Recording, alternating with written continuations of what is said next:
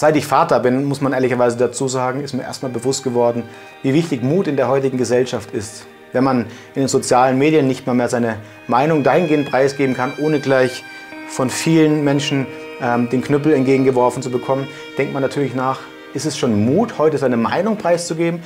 Und ich glaube, Mut ist deswegen notwendig, um den Regierungen dieser Welt und auch den Banken und vielleicht auch den, den Mächten dahinter klarzumachen, dass wir viele sind Eins ist klar, Kryptowährungen sind, zumindest wenn sie nicht von den Staaten gemacht sind, nicht staatlich regulierbar. Sie sind inflationssicher, weil Kauf, Nachfrage, das Angebot bestimmt, beziehungsweise das Angebot durch die Nachfrage bestimmt wird. Das ist das, was man beim Bitcoin aktuell sieht.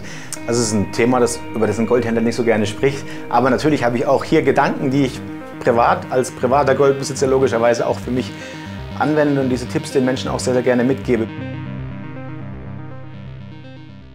Wenn Sie das Finanzsystem, in dem wir uns heute befinden, als Patienten wahrnehmen würden, wie würde es Ihrer Meinung nach dem Patienten gehen?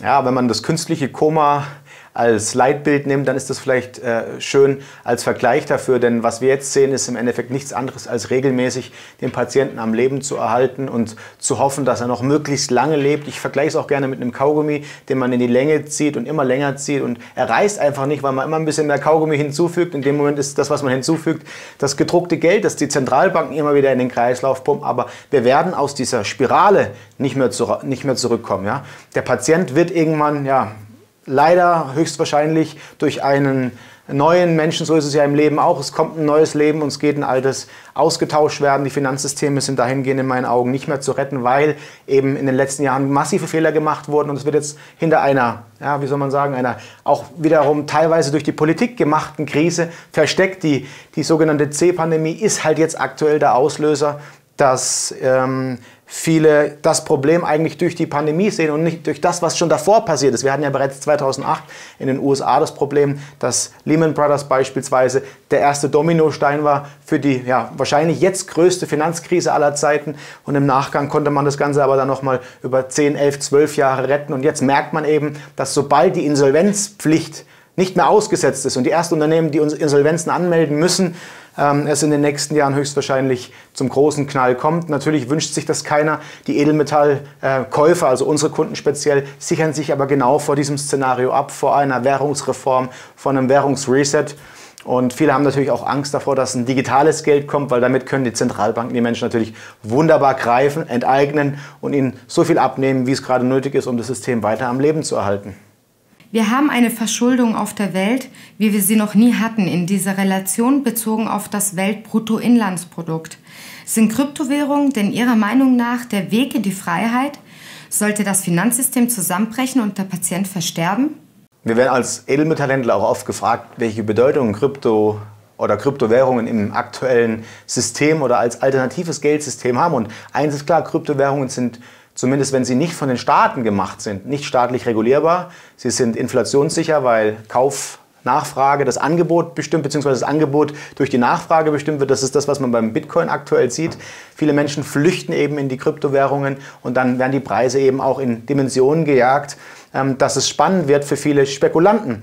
Gold hingegen ist natürlich ähm, eine ganz andere Klasse. Gold hat einen Track Record über 5000 Jahre und länger. Gold hat mehrfach bewiesen, dass es jede Krise der Welt überstanden hat, auch jede Epoche, egal ob es die Ägypter, die Römer oder andere Epochen waren. Gold hat immer auch ohne jeglichen äußeren Einfluss, sprich man, es braucht keinen Strom, es braucht keine Rechenleistung, es braucht letzten Endes nichts, dass es existiert. Gold wäre auch ohne die Menschen da. Und ähm, ich glaube, die Kryptowährungen werden eine Alternative bieten, ähm, um den Menschen eine Fluchtwährung oder eine Fluchtmöglichkeit zu geben, raus aus dem Finanzsystem, aus dem Geldsystem, aus dem aktuellen Fiat-Money-System, wie wir es kennen. Allerdings ist die Frage eben, wie stark die Regulation, die natürlich durch den Plan der Zentralbanken, der auch ja, lange schon bekannt ist, ähm, wie stark diese Regulation sein kann. Und ähm, ich gehe stark davon aus, dass es zum Beispiel Verbote der Einzahlungen auf Krypto-Plattformen ähm, ja, bzw. der Auszahlungen gibt. Ähm, dann wird es ähnlich wie beim Goldverbot damals auch einen Tauschhandel geben, dass mir jemand eine Dienstleistung vielleicht für ein Stück Bitcoin gibt. Also man kann vielleicht sagen, Kryptowährungen sind das Gold des Internets, ja. Aber wenn man was anfassen möchte, unabhängig von Elektrizität sein möchte, unabhängig von jeglichen Systemen, die man ja benötigt, um von A nach B etwas zu transferieren, ähm, dann empfehle ich nach wie vor Gold. Die Zentralbanken planen aber, und das ist bekannt, im Jahr 2021 auch in Europa schon die ersten ja, Feldstudien, wenn man so sagen darf. Frau Lagarde hat sie angekündigt, ab Mitte 2021 soll der digitale Euro erstmals getestet werden. Und so wie Jean-Claude Juncker schon mehrfach gesagt hat, man, man, man, man, man führt etwas ein, man wartet darauf, ob Widerstand kommt. Und wenn keiner kommt, dann setzt man es so lange um, bis Widerstand kommt, lässt die Menschen ein bisschen warten. Und so wird es peu à peu, ganz tröpfchenweise, langsam für jeden Bürger auch in Deutschland, die ja trotzdem noch sehr bargeldaffin sind, immer mehr salonfähig, dass digitales Geld die Zukunft ist. Und das digitale Geld in meinen Augen ist zwar ja die Zukunft, wir werden darum, weil das ein globaler Plan ist, wahrscheinlich nicht drum rumkommen. Allerdings sollten wir uns Alternativen aufbewahren, wie eben Gold oder vielleicht auch in den Augen vieler Anleger aktuell die Kryptowährungen. Man muss auch immer im Hinterkopf behalten, Kryptowährungen selbst, die nicht von den Zentralbanken gemacht sind, sind in meinen Augen, und da spreche ich glaube ich nicht nur für mich, das haben mittlerweile auch viele alte Volkswirtschaftler und Ökonomen global gesehen, die ursprünglich Gegner des Bitcoins waren, verstanden, ähm, eine Alternative, allerdings nicht die einzige und man sollte nie alles auf eine Karte setzen. Und ähm, die Zentralbanken selbst müssen es erstmal schaffen, eine funktionierende Kryptowährung ins Leben zu rufen, die kontrollierbar ist. Und dann ist es nämlich genau das Gegenteil von der Idee eines dezentralen Geldes, die der Bitcoin beispielsweise darstellt. Es ist ein zentrales Geld, das kontrollierbar ist. Es ist zwar kryptorisiert, also es ist verschlüsselt, aber ist letzten Endes durch die Zentralbanken kontrollierbar und dann wiederum auch inflationierbar, weil man natürlich das Geld vermehren könnte. Und das ist das, was man verstehen muss. Und Gold ist eben durch die Natur limitiert in einen Würfel mit einer Kantenlänge von 21 Metern. Also das ist das existierende Gold. Dieser Würfel würde unter den Eiffelturm passen, damit man sich das mal bildhaft vorstellen kann. Und wer ein Scheibchen davon hat, hat nun mal ein Stück Geld, ein Stück Sicherheit, das sie vor der Inflation schützt. Und wenn wir irgendwann mal Goldpreise von 10.000 oder 15.000 Dollar sehen und dieses Phänomen, was gerade im Kryptomarkt passiert, auch in die Rohstoffmärkte einkehrt, spätestens dann werden wir Inflation sehen, weil die Rohstoffe, die Basis für die Konsumenteninflation sind. Und die Konsumenteninflation kommt letzten Endes daher, dass die Rohstoffpreise teurer werden, die Lebensmittel, die Konsumgüter teurer werden. Und ich glaube, dieses Phänomen sehen wir deswegen noch nicht, weil man es momentan noch schafft, die Rohstoffmärkte künstlich nach unten zu manipulieren. Man schafft es aktuell noch, Gold immer wieder durch Manipulation im Keller zu halten. Ein guter Freund, der Dimitri Speck, hat es ja mehrfach erwähnt und hat sogar bewiesen in seinem Buch Geheime Goldpolitik, dass der Goldpreis manipuliert wird, dass das Ziel der Zentralbank ist, den Goldpreis noch künstlich, künstlich unten zu halten damit sie sich selbst eindecken können. Es gibt einen wichtigen Unterschied zwischen Gold und Kryptowährungen. Kryptowährungen haben keinen inneren Wert. Es ist im Grunde eine digitale Fiat-Währung. Gold im Gegensatz hat einen echten Wert. Wie schätzen Sie diesen Unterschied ein?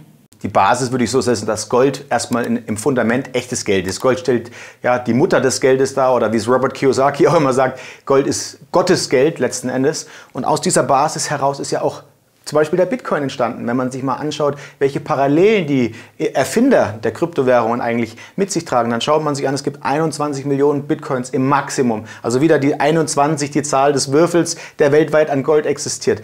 Es ist nicht künstlich vermehrbar. Und das, was ich immer wieder erwähne, ist eben, dass Gold diesen inneren Wert deswegen in sich trägt, weil es einfach über Jahrtausende als Geld fungiert hat, weil es mit diesem inneren Wert, den einem keiner nehmen kann, ja, Gold hat immer die Magie, Gold hat diesen Glanz und es gibt so einen schönen Spruch, Gold ist das ja, anziehendste, nicht magnetische Edelmetall aller Metalle. Ja? Und das ist das Wichtige, was man verstehen muss. Gold hat auch eine gewisse Magie. Wenn man mal eine Goldmünze in der Hand hatte, diesen Glanz oder einen Barren in der Hand hat und diesen Glanz gespürt hat, dann spürt man, warum beispielsweise die Ägypter, die Pharaonen und auf den Spitzen der Pyramiden Gold angesetzt hatten. Und das ist genau das, was man verstehen muss. Gold ist eben auch was Spirituelles. Gold wird in der Schmuckindustrie verwendet. Gold hat aber eben auch den monetären Charakter. Und das muss natürlich eine Kryptowährung erstmal beweisen. Nur weil es eine Kryptowährung jetzt geschafft geschafft hat, sich ver, zu vertausendfachen oder verx-fachen, heißt es nicht, dass es sie in 10, 20, 30 Jahren noch geben muss. Es gibt ja viele Gedanken, dass beispielsweise Quantencomputertechnologie oder noch bessere Computer oder verschiedene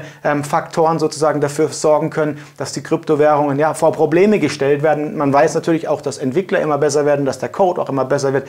Ich will hier nicht sagen, dass Kryptowährungen eine wirkliche Alternative zu Gold darstellen. Was man momentan aber sieht, ist, sie stellen eine Alternative zum aktuellen Fiat-Geldsystem dar. Und diese Alternativen brauchen wir. Wir brauchen Alternativen zum Zentralbankgeld, das kontrolliert wird und das uns als Menschen letzten Endes zu einer Nummer macht. Was denken Sie, werden wir eine neue Währung oder Währungsreformen sehen? Man muss das Geldsystem verstehen, um die Frage beantworten zu können. Ich glaube persönlich, dass wer eine Bilanz versteht, ist schon mal klar im Vorteil. Eine Bilanz also besteht aus aktiver und passiver. Wenn Schulden gemacht werden, beziehungsweise wenn aktiver gemacht werden muss, also Guthaben, dann müssen Schulden entstehen.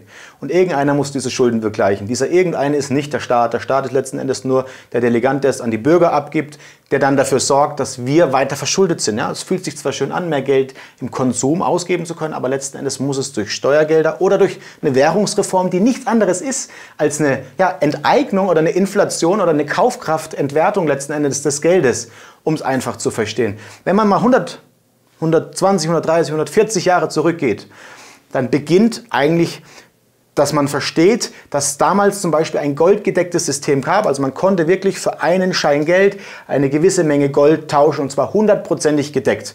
Dann war es eben so, dass der Erste Weltkrieg finanziert werden musste und jetzt kommen wir genau zu diesem Thema. Wenn Kriege finanziert werden müssen, müssen wir weg von goldgedeckten Systemen, weil man kann nicht das Geld x-beliebig vermehren. Aus dieser Erfahrung hat man gelernt und hat eben ein teilgedecktes Goldsystem zwischen dem Ersten und dem Zweiten Weltkrieg gemacht. Ein Geldsystem, das goldgedeckt war mit 40 Prozent. Und dieses System musste wieder aufgelöst werden, als der Zweite Weltkrieg vorne anstand. Die Amerikaner haben es nur klug gemacht und sind etwas später in den Zweiten Weltkrieg eingestiegen. Somit konnten sie große Goldbestände aufbauen, weil die Rüstungsindustrie natürlich erstmal viel Geld ins amerikanische Reich sozusagen eingebracht hat, ins Imperium USA. Und die USA haben was Folgendes gemacht. Die haben wiederum ein goldgedecktes Geldsystem, einen goldgedeckten Dollar eingeführt.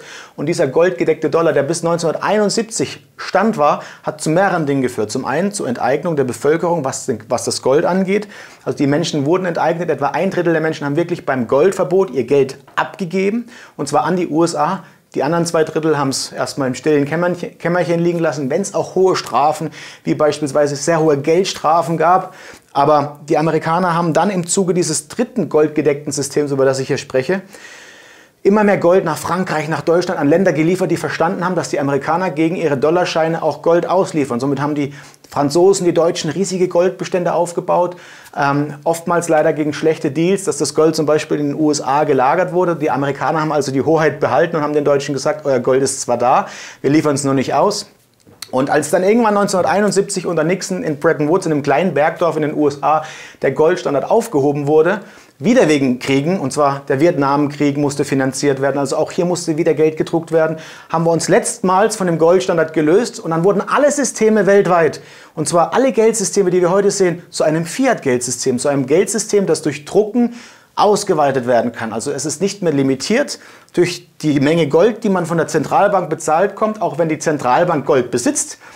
Aber an der Stelle muss man ganz klar sagen, jetzt ist das Problem eigentlich entstanden, dass dieses exponentielle Wachstum immer wieder dazu führt, dass es Währungsreformen gibt oder geben muss, die dazu führen, dass diese Entwertung der zu viel gedruckt oder zu hoch gedruckten Geldmenge, der zu ja, vielen Scheine, die im Umlauf sind oder des zu großen Geldvolumens, das im Umlauf ist, je nachdem, wie man es bezeichnen möchte, dazu führt, dass wir immer wieder an eine Art Währungsreform stoßen. Es gab ja viele Kritiker, die auch schon bei der Euro-Einführung genau die Probleme dieser Eurozone gesehen haben die auch gesagt haben, man kann nicht verschiedene Länder mit verschiedenen Volkswirtschaften unter einen Korb stecken. Man versucht es zwar und ähm, ehrlicherweise gehen ja viele Menschen, die, die, äh, ja, die heute leben, davon aus, dass der Dollar schon immer da war. Aber der Dollar wurde eigentlich 1991 auch resettet, als er abgelöst wurde vom Goldstandard. Und damit, damit hat man einen neuen Dollar bekommen. Und jetzt endet eben genau dieser Zyklus. Die Amerikaner rasen jetzt in eine Art Hyperinflation durch diese ganzen sogenannten Free Lunch Moneys, diese ins Volk pumpen, dieses Geld, das ins Volk gepumpt wird, diese Konsumkredite, die vergeben werden, beziehungsweise diese Kredite sind es ja gar nicht mehr, diese, ja, diese, dieses Helikoptergeld, wie es der Helikopter-Ben, Ben Bernanke, einer der ehemaligen Fed-Chefs schon gesagt hat. Und das ist das, was jetzt passiert. Und es gibt Grenzen für dieses Wachstum und es gibt auch tolle Harvard-Professoren, die das errechnet haben, wo diese Grenzen sind. Und bei über 130 Prozent Verschuldung, also Verschuldung gegenüber dem Bruttoinlandsprodukt, gab es noch nie einen Zurück aus diesem Verschulden und es gab immer eine Hyperinflation oder eine Währungsreform oder einen Krieg. Und wenn jetzt aktuell der Präsident, der jetzt in diesem Moment am Werk sitzt, in den nächsten Jahren genau diese Strategie seines ja, fast Vorgängers von Barack Obama verfolgt, werden wir auch in der nächsten Zeit wieder viele, viele Kriege sehen müssen um die Amerikaner zu refinanzieren und um hoffentlich noch die Nase, also aus Sicht der Amerikaner, ein Stück weit vor den Chinesen zu behalten, die die Pandemie nämlich wunderbar genutzt haben, um jetzt in die Stellung zu kommen, die Weltmacht Nummer eins zu werden. Was denken Sie über das Thema Goldverbot? Kann man sich davor schützen und haben Sie hier Tipps für Anleger? Also es ist ein Thema, das, über das ein Goldhändler nicht so gerne spricht. Aber natürlich habe ich auch hier Gedanken, die ich privat als privater Goldbesitzer logischerweise auch für mich anwende und diese Tipps den Menschen auch sehr, sehr gerne mitgebe. Grundsätzlich muss man verstehen, dass der Goldmarkt ein sehr, sehr kleiner Markt ist. Deswegen ist er auch so schön manipulierbar. Der Goldmarkt an sich wird ja, also der Preis, das verstehen viele Menschen nicht, wird nicht im physischen Markt gemacht. Er wird im sogenannten ja, Terminhandel gemacht. Und zwar der Terminmarkt, der sich in den USA an der sogenannten COMEX befindet, wo die größten Rohstoffpositionen weltweit neben der Shanghai Gold Exchange, die mittlerweile auch eine immer größere Rolle spielt, gemacht werden. Und diese Preise lassen sich durch Termingeschäfte, also durch Wetten auf steigende oder fallende Preise wunderbar lenken. Jetzt kann man natürlich ähm, äh, erstmal denken, ja, aber ist ja trotzdem ein Markt, der physisch gedeckt ist, ja, aber nur zu einem kleinen Teil. So ein Termingeschäft muss nicht mit 100% durch Gold gedeckt sein. Also angenommen, ich möchte 1000 Tonnen Gold verkaufen in einer Wette, dann brauche ich nur 10 oder 15 oder 5 Prozent, je nach sogenannten Margins, Sicherheiten, die an dieser Börse als Grundlage gelegt sind, wirklich als Sicherheit dahinter. Und damit kann ich natürlich einen Markt ganz schnell in Bewegung bringen, wenn ich eine Großbank wie JP Morgan, Goldman Sachs und so weiter bin, die immer wieder in Verruf geraten für diese Manipulation. Jetzt kommen wir aber zurück zu deiner Frage des Goldverbots bzw. Der, der, der Schutzmechanismen, die man hat.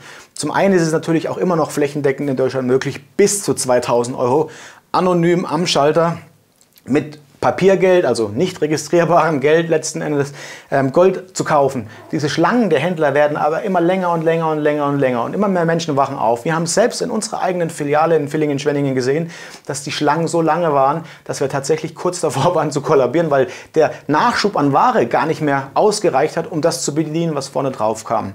Warum sind diese Schlangen so lang? Es sind nicht mehr Menschen, die kaufen, sondern es sind einfach mehr Menschen, die momentan versuchen, in regelmäßigen äh, also Abständen zu kaufen. Und dieses anonyme Bargeschäft wird massiv bekämpft. Das Bundesfinanzministerium bzw. Ähm, ja, die, die Regierungspräsidien unterstellen den Edelmetallhändlern unterschwellig natürlich, dass sie viel Schwarz- und Bargeld annehmen und das in Gold umschichten. Es gibt Statistiken dazu, die zeigen, dass es weit unter einem Prozent aus dem Goldhandel stammt, dieses ganze, dieses ganze Schwarzgeld, das sozusagen irgendwo umgeschichtet wird, sondern viele, vieles davon fließt zum Beispiel auch in den Kryptomarkt, muss man ehrlicherweise sagen. Und ich glaube, Geldwäscher haben elegantere Wege, als es in Gold umzuschichten. Die Grenze war ja bis vor wenigen Jahren bei 15.000 Euro, wurde dann auf 10.000 Euro gesenkt und mittlerweile auf 2.000 Euro. Und ich bin fester Überzeugung, dass ja, vor allem gerade in den Regierungspräsidien bzw. im Bundesfinanzministerium weitere Pläne in Aussicht stehen, diese Grenze zu kappen Richtung Null. Somit hat man den Gold Goldmarkt, den Bargoldmarkt eliminiert und die Menschen haben keine andere Möglichkeit mehr, als online zu kaufen. Wir haben uns aus diesem Grund auch schon positioniert und haben gesagt, wir möchten im Onlinehandel eine führende Speerspitze sein. Auch wir als Edelmetallhändler müssen wie jedes Unternehmen Rechnungsdaten aufbewahren für zehn Jahre. Die Sache ist, was nützt es dem Staat, wenn ich die Rechnung eines Kunden habe und der Kunde seine Edelmetalle irgendwo vergraben hat und sie nicht mehr findet? Ein schönes Beispiel von einem meiner Kunden ist, ich schmeiße meine Krügerrand regelmäßig in den Klingelbeutel in der Kirche. Und ähm, was dann die Kirche damit macht, ist deren Problem. Ich hoffe, diese Botschaft kam bei Ihnen an. Edelmetalle sind mobil, man kann sie lagern, wo man möchte, man kann sie streuen, wie man möchte, man kann sie privat kaufen. das Wunderbare ist, nach einem Jahr Besitz kann man sie auch steuerfrei veräußern. Das heißt, dann hat der Fiskus keinerlei Möglichkeit mehr, diese Steuern sich sozusagen unter den Nagel zu reißen. Und ich glaube, dieses mobile Gut, wird irgendwann in den Fokus der Regierungen geraten. Davor werden aber erstmal die Immobilienbesitzer mit Lasten ausgleichen, wie wir sie mehrfach gesehen haben.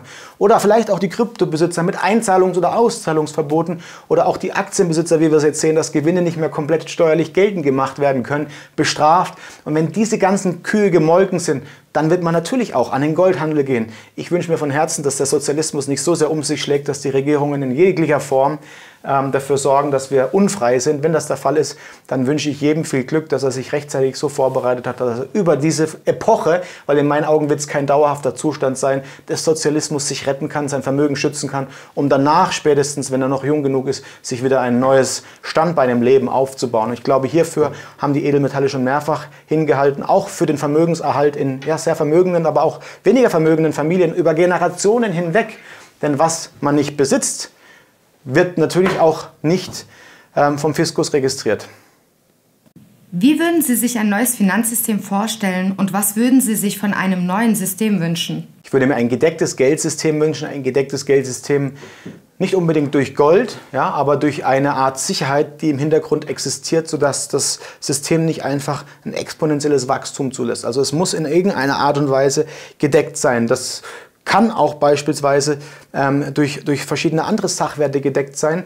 Aber es ist wichtig, dass dieses System sich nicht x-beliebig vermehren lässt, damit schließen wir viele Probleme. Zum einen wird es schwieriger, Kriege zu machen. Und ich glaube, kein Mensch auf der Welt, außer die Rüstungsindustrie und die Staaten und vielleicht der ein oder andere Europapolitiker, der aus Deutschland dahin kam, wünscht sich Kriege, damit weiter diese Lobbys existieren.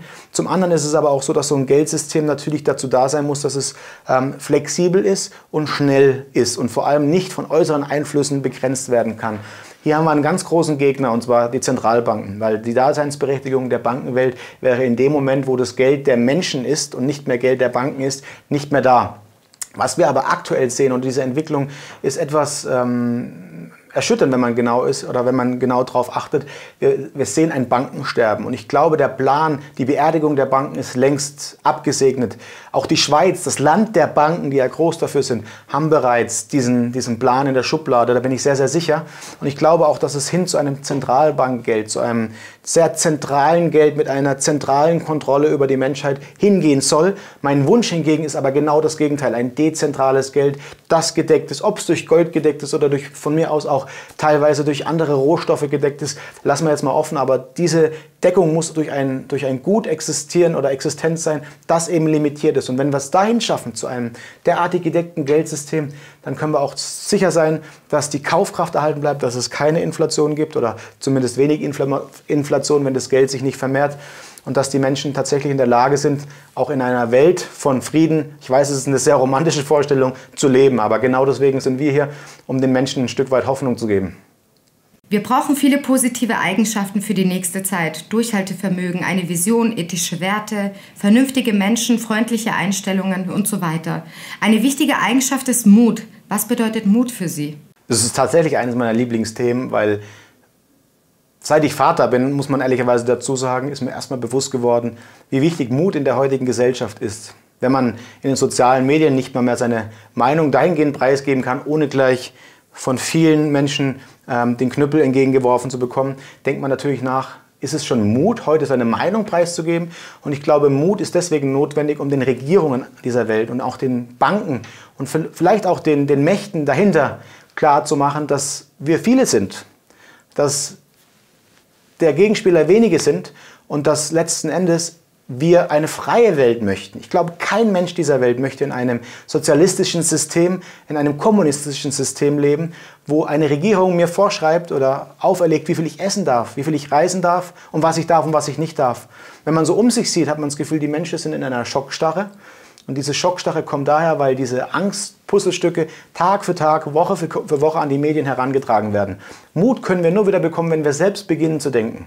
Mut können wir nur bekommen, wenn wir verstehen, unser Gegenüber, das vielleicht eingeschränkt ist oder noch eingeschränkter ist als man selbst, auch wieder zu verstehen, ihm wieder Gehör zu schenken und auch die Gegenseite zu verstehen und sie abzuholen und wieder in der Mitte vielleicht eine graue Farbe und nicht schwarz oder weiß zu schaffen. Das ist das, was die Medien mit aller Gewalt verhindern möchten, dass wir uns wieder zusammenfinden, dass wir uns wieder an Stammtischen treffen und Themen diskutieren. Mut ist für mich die Zukunft unserer Kinder. Und ich möchte, dass mein Sohn in einer freien Welt aufwächst.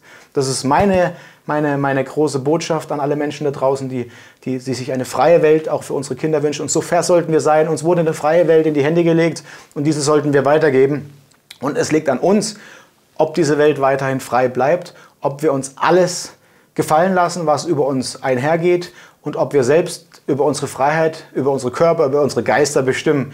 Und deswegen ist es umso wichtiger, dass der ein oder andere mit besonders viel Mut vielleicht auch an die Front geht, um vielen Menschen zu signalisieren, dass wir nicht wenige sind, sondern dass wir viele sind. Was wären die wichtigsten Botschaften in dieser schwierigen Zeit, die Sie den Menschen mitgeben würden? Ich glaube, in der jetzigen Zeit ist das Wichtigste, wieder soziale Netzwerke zu schaffen. Und ich rede jetzt nicht von den sozialen Medien, sondern von echten Beziehungen, von echten Freundschaften, dass man wieder lernt, dem Nächsten zu helfen. Die positive Botschaft, die zu Beginn der Pandemie um uns geschlagen hat, dass wir den Nachbarn doch wieder helfen sollen, den älteren Menschen einkaufen zu gehen, die ist komplett im Keim erstickt worden aus Hass und aus Konflikt. Und ich glaube, wenn wir es schaffen, Freundschaften und Beziehungen, die einem auch helfen, wenn einem vieles oder alles genommen wird, vielleicht auch ja, die Liebsten genommen werden oder auch die Freiheit zu reden oder vielleicht der Beruf, dann haben wir es geschafft, dass wir wieder wirklich reich sind. Weil Warum ist der Mensch denn so, wie er ist? Der Mensch ist ein Herdentier, der Mensch ist, ist, ist geborgen in der Familie. Und für diejenigen, die eben diese Geborgenheit nicht haben, ist es umso wichtiger, ein Netzwerk zu bauen, wo wir wissen, darauf können wir uns verlassen. Lassen sich nicht davon einschüchtern, dass beispielsweise Kommunikation eingeschnitten werden kann, dass Ihr ja, Finanzsystem eingeschnitten werden kann. Ich bin sicher, diese Netzwerke, dieser Zusammenhalt der Menschen, der ist durch nichts kaputt zu machen. Und das Erste, was wir tun sollten, ist, den Mainstream abzuschalten. Diese Botschaft möchte ich hier mitgeben, weil damit schaffen Sie es aus der Angst und damit schaffen Sie es auch wieder in eine Geborgenheit, in ein Wohlbefinden. Und dieses Wohlbefinden, das kann ich allen Menschen nur mitgeben, wenn Sie ein Stück Sicherheit, auch was Ihre Finanzen angeht, suchen da spreche ich jetzt nicht ganz uneigennützig als Edelmetallhändler. Das ist was, was Ihnen leider nur Gold und Silber gibt. Und deswegen stehen wir auch ja, voll dahinter, was wir tun. Deswegen ist es unsere Botschaft an die Menschen, sich auch ein Stück weit finanziell abzusichern. Weil wenn dieser Gedanke wieder ins Unterbewusstsein rutscht, dass man diese finanzielle Sicherheit besitzt, kann man sich aufs Wesentliche konzentrieren. Und zwar darauf, die Netzwerke, die Beziehungen und auch sich selbst wieder in den Mittelpunkt zu stellen. Wir haben momentan einerseits in dieser westlichen Wertegemeinschaft ein Wirtschaftsmodell nach dem Motto höher, schneller, weiter, also den Turbokapitalismus. Auf der anderen Seite China mit Sozialismus, Kommunismus, also staatlich kontrolliert. Sehen Sie hier irgendwo einen Mittelweg oder wie können wir aus dem Westen mit unserem jetzigen Turbokapitalismus entgegenwirken? Also ich bin natürlich ein sehr liberal denkender Mensch, bin auch Anhänger der äh, ja, österreichischen Schule, kann ich so sagen. Und ich glaube, die Menschen müssen wieder verstehen, dass die freie Marktwirtschaft erstmal nichts Schlechtes ist. Der Kapitalist oder der Kapitalismus hat uns ja letzten Endes nach dem Zweiten Weltkrieg dahin gebracht, wo wir heute stehen, in einer Gesellschaft voller Reichtum, voller Vermögen, voller freiem Konsum. Wir leben hier in einem kleinen Teil der Welt. Wir dürfen nicht vergessen, dass wir dieses Free Lunch, dieses Free Money, das wir bekommen haben, ja, nicht auf der ganzen Welt haben. Es gibt viele Teile der Welt, die verarmen, die jetzt noch weiter zurückgedrängt werden durch diese Spaltung. Und ein Geldsystem sollte in meinen Augen möglichst frei sein.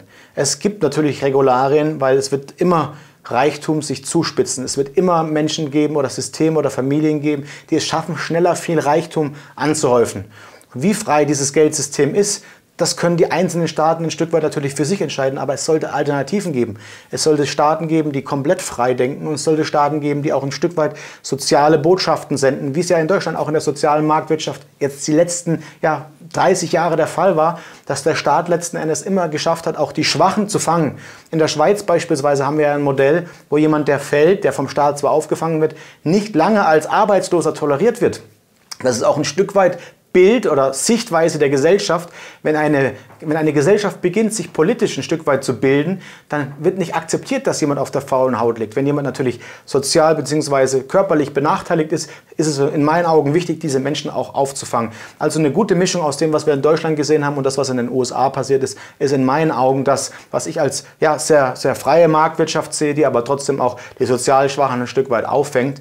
Und wenn das mit einem Geldsystem gepaart ist, das nicht x-beliebig ausweitbar ist, sondern gedeckt ist, dann wäre mein Wunschtraum erfüllt, sodass ich meinem Sohn auch mit echtem anfassbaren Geld eine freie Welt für die nächsten 80, 90, vielleicht 100 Jahre schenken kann. Ja. Zum Thema Wirtschaft, Produktion, Industrie, all das hat auch mit Ressourcen zu tun. Was können Sie uns zu dem Thema Nachhaltigkeit mit auf den Weg geben? Also was im Edelmetallhandel oft passiert, der Goldhandel wird ja immer als böse und als ressourcenverbrauchend hingestellt. Aber wenn man sich mit den Herstellern selbst unterhält, wir haben ein Gespräch gehabt vor gut zwei Jahren äh, auf der Edelmetallmesse in München mit dem Vorstand von Umicore und wenn man sich anschaut, wie groß das Thema Nachhaltigkeit mittlerweile geschrieben wird, also Rückgewinnung aus dem Recycling, ja, das, was bisher an Verschmutzung in der Umwelt passiert ist, lässt sich nicht rückgängig machen, aber weiter zu denken, mehr auf Recycling zu setzen, ist im Goldhandel ganz groß geschrieben. Und das Thema Nachhaltigkeit ist ja was, was zum Beispiel auch bei jedem selbst anfängt. Ich bin der Letzte, der jemandem vorschreiben möchte, was er zu essen hat. Aber wenn man sich eben anschaut, wie viel Wasser zum Beispiel benötigt wird, um ein Kilo Rindfleisch auf den Teller zu bekommen, dann ist das nicht nachhaltig gedacht. Ja? Und, unsere, und das ist, glaube ich, der große Unterschied, der mich von ein paar großen Denkern dieser Welt, die der Meinung sind, die Weltbevölkerung im Zaum halten zu müssen oder vielleicht sogar ein Stück weit ähm, ja, kleiner machen zu müssen dass es genug Ressourcen auch für 10, 20, 30 Milliarden Menschen auf diesem Planeten gibt. Wenn wir umdenken, wenn wir nachhaltiger denken, wenn wir vielleicht auch Alternativen für beispielsweise Fleisch oder andere Lebensmittel finden. Und dazu haben wir genug kluge Köpfe auf dieser Welt. Nur diejenigen, die diesen Plan nicht so sehen wie ich, die sind natürlich für eine massive Einschränkung in diesem Wachstum der Bevölkerung. Und ich glaube, das ist ähm, was, was jedem Menschen äh, mit an die Hand gegeben werden soll. Es fängt bei jedem an, nachhaltig zu leben. Ich werde mir nicht vorschreiben lassen von beispielsweise einem World Economy Forum, wie ich zu leben habe, ja, wenn auch dieser Plan schon ganz klar kommuniziert ist. Ich werde aber für mich schauen, dass ich ein möglichst nachhaltiges Leben führe, damit ich den nächsten Generationen nach mir auch noch eine möglichst schöne Welt hinterlasse. Trotzdem heißt es nicht, dass man sich selbst in ja, einem wohlhabenden Lebensstil einschränken muss. Man sollte sich vielleicht einfach überlegen, was man mit welcher Handlung tut. Und dieses Bewusstsein führt uns schon wieder dahin, dass wir letzten Endes an den Punkt kommen, dass wir ähm, ja, ein Stück weit nachhaltiger werden. Einfach bei jedem Mal, wenn man im Supermarkt ein Stück Obst einkauft und sich zu überlegen, ist es sinnvoll, dass es in Plastik eingepackt ist oder nicht. Und damit senden wir Botschaften. Das, das ist ein Prozess, das kann nicht über Nacht passieren. Ich glaube auch, dass dieses Umdenken wichtig ist, dass die Menschen verstehen müssen, dass Nachhaltigkeit heute definitiv eine Rolle spielt, wenn wir 20, 30 Milliarden Menschen werden wollen wollen auf diesem Planeten. Ähm, nichtsdestotrotz sehe ich es nicht so gravierend wie viele. Vor allem das Thema, ähm, ja, wenn man mal über Randthemen sprechen darf, die ich jetzt nicht unbedingt als Experte behandle, aber wie beispielsweise CO2, CO2-Steuern, womit ein riesiges ja, Geld gemacht wird in den Regierungen dieser Welt. Da muss man auch kritisch sich die Frage stellen, okay, haben die Staaten wirklich die Befugnisse zu sagen, wer wie viel bezahlen muss, um was zu verbrauchen? Und Länder, die vielleicht gar nicht die Ressourcen haben wie Afrika, handeln dann diese Ressourcen weiter an Länder, die mehr Verschmutzung machen dürfen. Das, das Modell ist in meinen Augen sehr sehr kritisch zu bewerten, wenn ich jetzt auch kein ähm, äh, äh, grüner Gegner bin, aber diese, diese, diese Politik, die, die widerspricht mir ganz stark in den letzten Monaten und vor allem auch in den letzten eineinhalb Jahren.